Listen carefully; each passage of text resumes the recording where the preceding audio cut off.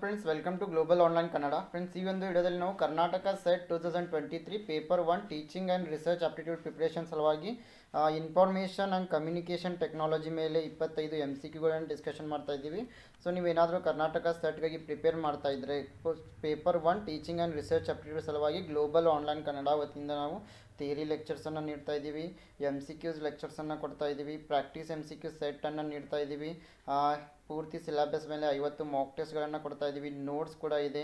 ಜೊತೆಗೆ previous year question papers with answers and ಎಕ್ಸ್ಪ್ಲನೇಷನನ್ನು ನೀಡ್ತಾ ಇದ್ದೀವಿ ಇಂಗ್ಲೀಷ್ ಮತ್ತು ಕನ್ನಡ ಎರಡೂ ಲ್ಯಾಂಗ್ವೇಜ್ನಲ್ಲಿ ಸೊ ಇವೆ ನೀವೇನಾದರೂ ಕೋ- ಈ ಒಂದು ಕೋರ್ಸನ್ನು ಜಾಯ್ನ್ ಆದರೆ ಪೇಪರ್ ಒನ್ಗೆ ಬೇಕಾದ ಎಲ್ಲ ಮಟೀರಿಯಲ್ ನಿಮಗೆ ಒಂದೇ ಸ್ಥಳದಲ್ಲಿ ಸಿಗ್ತಾ ಇದೆ. ಜೊತೆಗೆ ಪೇಪರ್ ಒನ್ನಲ್ಲಿ ನೀವು ಎಪ್ಪತ್ತೈದಕ್ಕಿಂತ ಹೆಚ್ಚಿನ ಒಂದು ಅಂಕಗಳನ್ನು ಪಡೆದೇ ಪಡಿತೀರಿ. ಸೊ ನೀವು ಪೇಪರ್ ಟೂನಲ್ಲಿ ಸ್ವಲ್ಪ ಫೋಕಸ್ ಮಾಡಿದರೆ ಕೆ ಸೆಟ್ಟನ್ನು ಸರಳವಾಗಿ ಕ್ವಾಲಿಫೈ ಆಗ್ಬೋದು. ಸೊ ಇದಕ್ಕಾಗಿ ನೀವು ಗ್ಲೋಬಲ್ ಆನ್ಲೈನ್ ಆ್ಯಪನ್ನು ಪ್ಲೇಸ್ಟೋರ್ನಿಂದ ಡೌನ್ಲೋಡ್ ಮಾಡಿಕೊಳ್ಬೇಕು. ನಂತ, ಅಥವಾ ನೀವು ಈ ಒಂದು ನಂಬರ್ಗೆ ಕಾಂಟ್ಯಾಕ್ಟ್ ಕೂಡ ಮಾಡ್ಬೋದು. ಸೊ ಪೇಪರ್ ಟೂಗೆ ನಾವು ಕಂಪ್ಲೀಟ್ ನೋಟ್ಸನ್ನು ನೀಡ್ತಾ ಇದ್ವಿ ಪಿ ಡಿ ಎಫ್ನಲ್ಲಿ ಮತ್ತು two thousand plus M C Q set ನೀಡ್ತಾ ಇದ್ದೀವಿ ಕೇವಲ ತೌಸಂಡ್ ರುಪೀಸ್ನಲ್ಲಿ. ಸೊ ನೀವು ಗ್ಲೋಬಲ್ ಆನ್ಲೈನ್ ಆ್ಯಪನ್ನು ಡೌನ್ಲೋಡ್ ಮಾಡಿದ ನಂತರ ನಿಮ್ಮ ಇಮೇಲ್ ಐ ಡಿ ಅಥವಾ ಮೊಬೈಲ್ ನಂಬರ್ ಮೂಲಕ ರಿಜಿಸ್ಟರ್ ಮಾಡ್ಕೊಳ್ಳಿ. ಸರ್ಚ್ ಫಾರ್ ಕೋರ್ಸಸ್ನಲ್ಲಿ ನೀವು K SET two thousand twenty three paper one ಅಂತ ಸರ್ಚ್ ಮಾಡಿದರೆ ಈ ಪೇಪರ್ ಒನ್ ಕೋರ್ಸ್ ನಿಮಗೆ ಅವೈಲೇಬಲ್ ಆಗ್ತಾ ಇದೆ. so the first question is educational tv was first introduced in india in which year app- ಆ, ಭಾರತದಲ್ಲಿ ಮೊದಲ ಬಾರಿಗೆ ಶೈಕ್ಷಣಿಕ ಟಿವಿಯನ್ನು ಯಾವ ವರ್ಷದಲ್ಲಿ ಪರಿಚಯಿಸಲಾಯಿತು option A nineteen fifty nine option B nineteen sixty one option C nineteen sixty option D nineteen fifty eight yes the right answer for this question is option A nineteen fifty nine So television began in India in the year 1959 as an educational project. It was supported by UNESCO. UNESCO stands for United Nations Educational, Scientific and Cultural Organization. Question number two EDGE EDGE stands for EDGE ಅಂತಂದರೆ option A extended data for G S M evolution option B enhanced data for G S M evolution option C enhanced data for global evolution option D extended data for global evolution. So EDG it stands for uh, enhanced data for GSM evolution. Option B is correct. So EDGE stands for enhanced data for GSM evolution. It is also known as the enhanced data rates for global evolution. GSM stands for global system for mobiles. And EDGE it is a digital mobile phone technology. It transmits the data rates as a backward compatible extension of GSM. Question number 3 Which of the following statements about Mahar is true? Option A Mahar is an open source learning management system. Option B Mahar is primarily used for live video conferencing. Option C Mahar is an uh, is a e-portfolio platform for students and professionals. Option D Mahar is is a content management system for e-commerce websites. Mahara ಬಗ್ಗೆ ಕೆಳಗಿನ ಯಾವ ಹೇಳಿಕೆ ನಿಜವಾಗಿದೆ option A, Mahar ಒಂದು ಮುಕ್ತ ಮೂಲ ಕಲಿಕೆ ನಿರ್ವಹಣಾ ವ್ಯವಸ್ಥೆಯಾಗಿದೆ. ಆಪ್ಷನ್ ಬಿ, ಮಹಾರವನ್ನು ಪ್ರಾಥಮಿಕವಾಗಿ ಲೈವ್ ವಿಡಿಯೋ ಕಾನ್ಫರೆನ್ಸಿಂಗ್ ಆಗಿ ಬಳಸಲಾಗುತ್ತೆ. ಆಪ್ಷನ್ ಸಿ, ಮಹಾರ್ ವಿದ್ಯಾರ್ಥಿಗಳು ಮತ್ತು ವೃತ್ತಿಪರರಿಗೆ ಈ ಪೋರ್ಟ್ಫೋಲಿಯೋ ವೇದಿಕೆಯಾಗಿದೆ. Option D, Mahara e commerce ವೆಬ್ಸೈಟ್ಗಳಿಗೆ ವಿಷಯ ನಿರ್ವಹಣಾ ವ್ಯವಸ್ಥೆಯಾಗಿದೆ. Yes here the right answer is option C is correct. Mahara, it is an e portfolio platform for students and professionals. So Mahar ಒಂದು ವಿದ್ಯಾರ್ಥಿಗಳಿಗೆ ಮತ್ತು ವೃತ್ತಿಪರರಿಗೆ ಈ ಪೋರ್ಟ್ ಈ ಪೋರ್ಟಲ್ ವೇದಿಕೆಯಾಗಿದೆ option C is the right answer so Mahara was initially developed by Catalyst I T limited a New Zealand open source software company and was first released in April two thousand eight Question number 4 Which of the following is not a Web 2.0 tool? ಕೆಳಗಿನವುಗಳಲ್ಲಿ ಯಾವುದು web two point zero tool ಅಲ್ಲ. Option A blog option B wiki option C email option D social media platform yes here the right answer is option C email C email ಇಲ್ಲಿ ಸರಿಯಾದ ಉತ್ತರ ಆಗಿದೆ. Question number five match the following list one is showing digital initiative list two is showing areas so here let us moot the right answer directly the right answer is option D A is related to to Shodhganga it is for plagiarism checking and uh, IDINS it is database for researchers and faculty. And Swayam it is a MOOC platform massive open online course platform. And POSI it is open source respiratory. Yes open source repository. Question number 6 which among the following are multi-sensory media? Television graphs podcast teleconferencing. ಕೆಳಗಿನವರಲ್ಲಿ ಬಹು ಸಂವೇದನಾ ಮಾಧ್ಯಮ ಯಾವುದು? ದೂರದರ್ಶನ, graph, podcast, teleconferencing, motion picture films. The correct answer is option one A D and E so television then teleconferencing motion picture films are multi sensory medias so ಇಲ್ಲಿ ದೂರದರ್ಶನ ಆಗಿರ್ಬೋದು teleconferencing motion picture films ಇವು ಬಹು ಸಂವೇದನಾ ಮಾಧ್ಯಮಗಳಾಗಿವೆ. So multi sensory media it is a type of media that engages multiple senses such as sight, hearing, touch, smell and taste. Television, motion picture films and teleconferencing are examples of multisensory media. Question number 7. Which of the following is false about the concept of blended learning? It is mixed web-based technology, it is mixed instructional technology, it is mixed pedagogical approach, it is related to assignments of the students. Blended learning ಪರಿಕಲ್ಪನೆಯ ಬಗ್ಗೆ ಈ ಕೆಳಗಿನಲ್ಲಿ ಯಾವುದು ತಪ್ಪು? Option A, ಇದು mix web ಆಧಾರಿತ ತಂತ್ರಜ್ಞಾನವಾಗಿದೆ. Option B, ಇದು ಮಿಕ್ಸ್ ಇನ್ಸ್ಟ್ರಕ್ಷನಲ್ ಟೆಕ್ನಾಲಜಿ ಆಗಿದೆ. ಆಪ್ಷನ್ ಸಿ, ಇದು ಮಿಕ್ಸ್ ಪೆಡಗಾಗಿಕಲ್ ಅಪ್ರೋಚ್ ಆಗಿದೆ. ಆಪ್ಷನ್ ಡಿ, ಇದು ವಿದ್ಯಾರ್ಥಿಗಳ ನಿಯೋಜನೆಗೆ ಸಂಬಂಧಿಸಿದೆ. Yes, here option one. D, only is correct and it is related to assignments of the student. This statement is wrong here. So, option D is correct so ಇಲ್ಲಿ blended learning ಬಗ್ಗೆ option D ಏನಿದೆ? ತಪ್ಪಾಗಿದೆ. ಇದು ವಿದ್ಯಾರ್ಥಿಗಳ ನಿಯೋಜನೆಗಳಿಗೆ ಸಂಬಂಧಿಸಿಲ್ಲ. So option D ಸರಿಯಾಗಿದೆ. Blended learning it is a teaching and learning approach that combines traditional face to face instruction with technology based learning question number eight a sniffer is sniffer ಅಂತಂದರೆ option A protocol option B virus option C program that monitors and analyses network traffic option D none of the above Yes, here the correct answer is Snipper is a program that monitors and analyzes network traffic. Snipper ಎಂದರೆ network traffic ಅನ್ನು ಮೇಲ್ವಿಚಾರಣೆ ಮಾಡುವ ಮತ್ತು ವಿಶ್ಲೇಷಿಸುವ program ಆಗಿದೆ a snipper also known as packet analyser or network analyser it is the tool use to capture and analyse network traffic and uh, snipper it is a software or hardware tool that inter- intercepts and records data packets transmitted between computers or devices on a network.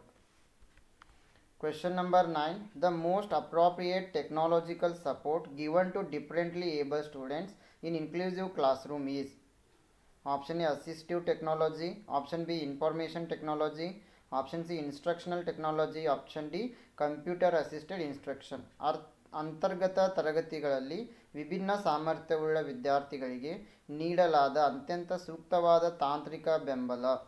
Option A, ಸಹಾಯಕ ತಂತ್ರಜ್ಞಾನ. Option B, ಮಾಹಿತಿ ತಂತ್ರಜ್ಞಾನ.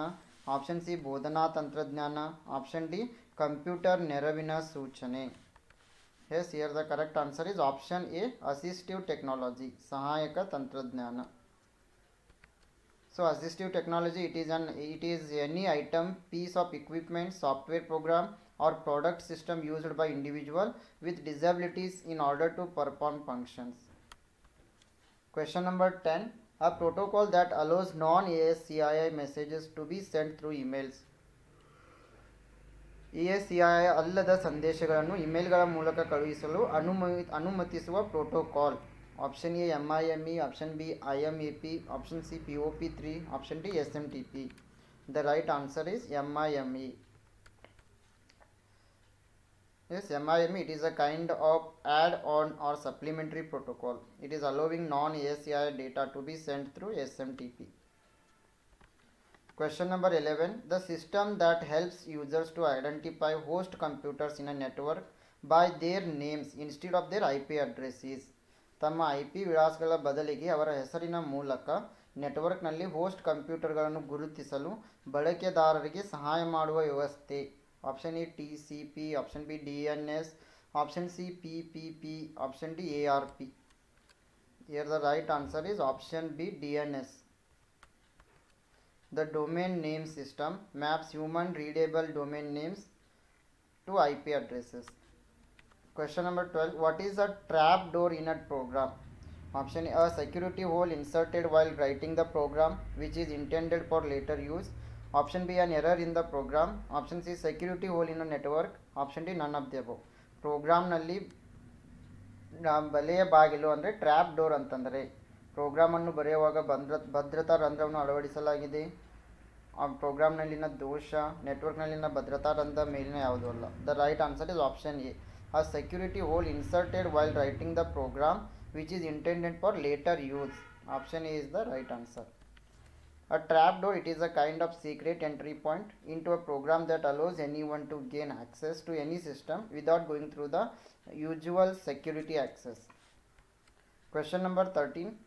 Honeypot is an example for security auditing software, inst- uh, instruction detection software, encryption software, virus. ಹನಿಪಾಟ್ ಒಂದು ಯಾವುದಕ್ಕೆ ಉದಾಹರಣೆಯಾಗಿದೆ option A security auditing software ಒಳನುಗ್ಗುವಿಕೆ ಪತ್ತೆ ತಂತ್ರಾಂಶ encryption software virus the correct answer is option B instruction detection software honeypot it is an security it is a security mechanism that creates a virtual trap to lure attackers question number 14 a firewall is used in a network to option a prevent fire in a network option b to scan for viruses in files. Option c, prevent unauthorized access to the network.